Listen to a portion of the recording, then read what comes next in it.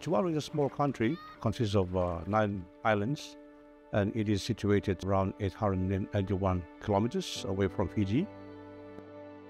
Tuvalu is a very unique uh, place. Uh, you know, it's uh, very vulnerable to climate change and uh, limited resources as well when you talk about aviation developments.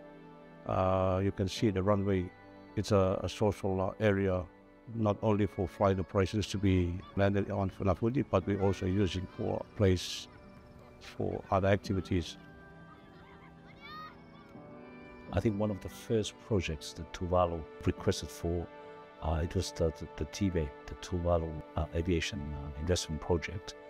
Uh, and this actually was supposed to look after the building of the new airport, building of the tower, and also looking at the airfield.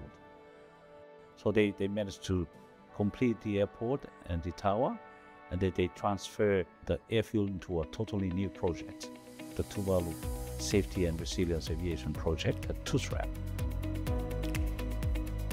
So the project basically look at the uh, the safety and, and, resilience of uh, the civil aviation in Tuvalu and uh, focusing on building uh, the runway so it is able to provide uh, services uh, to, to the people of Tuvalu for the next 10 years.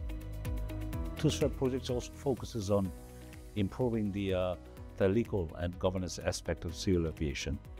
Uh, it, it, this is basically on the capacity building for the Tuvalu civil aviation. Having a proper runway, uh, that's very important uh, for us to be able to uh, connect um, with the outside world. without a runway, we have to go by ship. And to travel by ship to Fiji, our closest neighbor to the south, which is the hub of our South Pacific region is it takes about three days.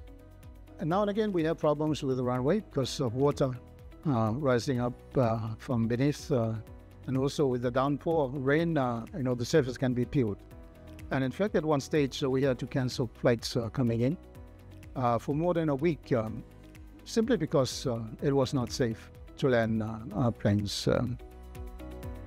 Before the resurfacing of the runway, we used to have problems with the water trapped underneath the surface of the runway, uh, which can cause uh, potholes, and that can cause delays on flight operations into Funafuti.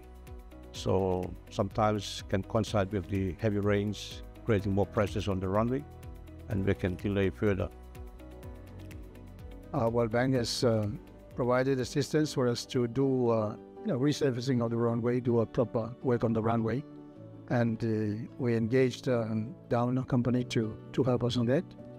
And we just completed, uh, as you may have seen on the runway now, it's a new runway. And uh, we hope uh, it's a lot better than the previous uh, surface. The, our project really plays a major role in helping Tuvalu meeting those compliance and also to ensuring that the connection between Tuvalu and Fiji is always there. Tuvalu wants to build its resilience, uh, it needs a partnership. And I think uh, part of our work uh, as a World Bank, uh, as a partner, is to help Tuvalu in building that resilience. Looking at most of the major development priorities of Tuvalu. And I think it's important to have that uh, engagement. I think the World Bank also have the uh, role of building the capacity of the Tuvaluans to understand the World Bank project and maybe those capacity could be used to, to engage other partners to, to build the, resilience of, uh, of Tuvalu.